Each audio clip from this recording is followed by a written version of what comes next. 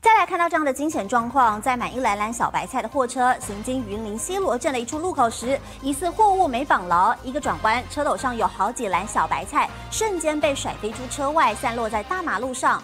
而且当时刚好旁边还站了一名男子，差点受波及，吓了好大一跳。满载小白菜的货车来到路口，一个转弯，下一秒好几篮小白菜从车斗上飞出来，砸向路旁。我就听到那个菜在滑行的声音啊，就菜篮子啊在滑行的时候，我就哦。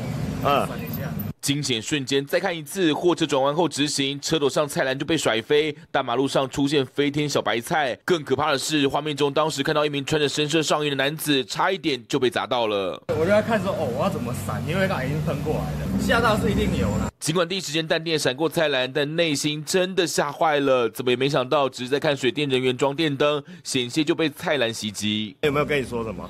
没有，没有，他不知道。